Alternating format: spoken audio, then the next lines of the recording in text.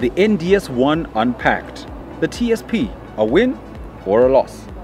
On the 16th of November 2020, President Emmerson Mnangagwa launched yet another economic blueprint, the National Development Strategy NDS-1, believed to be the seventh economic blueprint since the attainment of independence by Zimbabwe in 1980.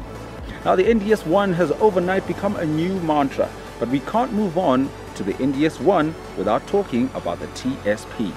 Since we're in November, it's three years now under the new dispensation, which has offered Zimbabwe an opportunity for economic reformation under a blueprint named the TSP, the Transitional Stabilization Program, which was unveiled by Professor Mthuli Ncube on the 5th of October 2018.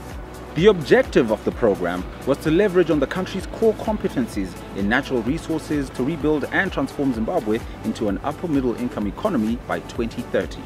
This would entail achieving a nominal gross domestic product GDP of 65 billion US dollars by 2030 and a gross national income GNI of $3,500 per capita and sustaining growth rates of 7% per annum for the next 12 years.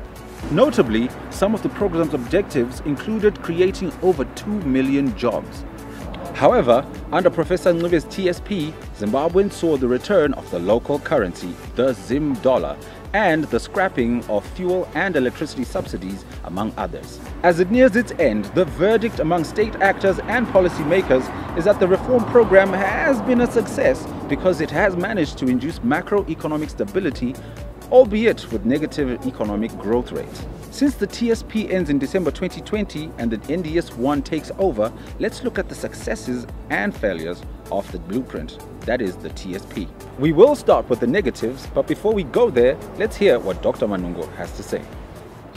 We've always envisaged the Transitional Stabilization Program as a bridge towards the realization of our vision 2030 for an upper middle income uh, economy. We've had a number of challenges as we implemented the transitional stabilization program.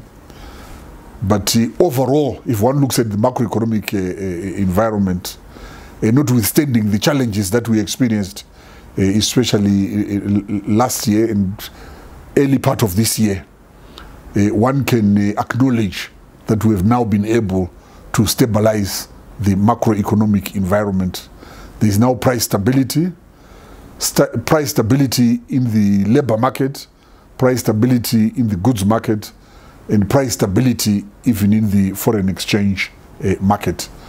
The key drivers of uh, stabilization in terms of the macroeconomic environment has been the persistence that uh, the Honorable Minister of Finance, uh, uh, Professor Mtuli, uh, and uh, his colleagues across the various expenditure ministries, they've persevered uh, with uh, austerity uh, during the last uh, two and a half years.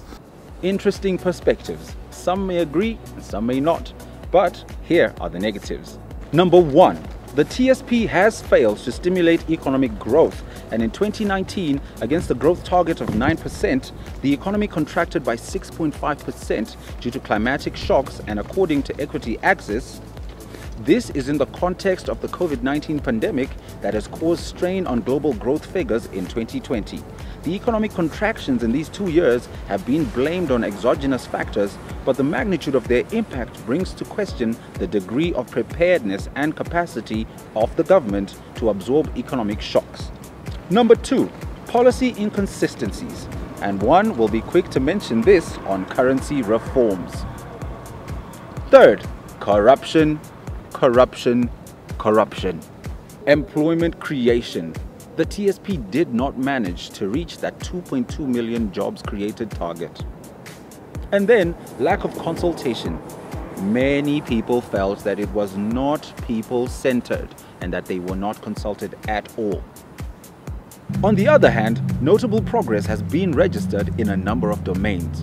For instance, in the ease of doing business, where construction permits and operating licenses are now processed much faster under the Empowerment Act. In the energy sector, the $4.5 billion Batoka Gorge hydroelectric project is going to be a game changer. And also the $1.2 billion expansion of the biggest coal-fired power facility in Zimbabwe, Hwange Thermal Power Stations Units 7 and 8, which will see 600 megawatts added to the national grid, is progressing well, with the commissioning of the first unit, that is Unit 7, expected mid-2021. $3.5 billion worth of compensation to dispossessed commercial farmers for developments they made on the land. Now, this is a step closer to resolving one of the most divisive policy issues of the past era.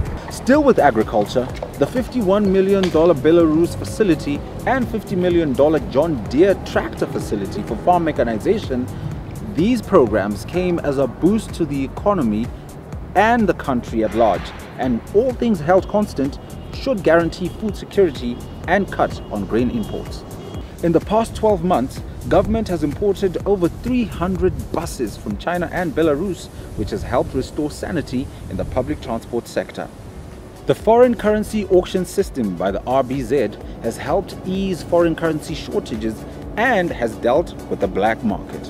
In road infrastructure development, we've seen the resurfacing of major roads and highways like the infamous Harare Beitbridge Highway.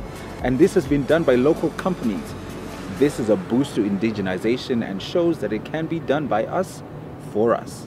However, after all the checks and balances, there's still a lot more work to be done and jobs, jobs and more jobs still need to be created.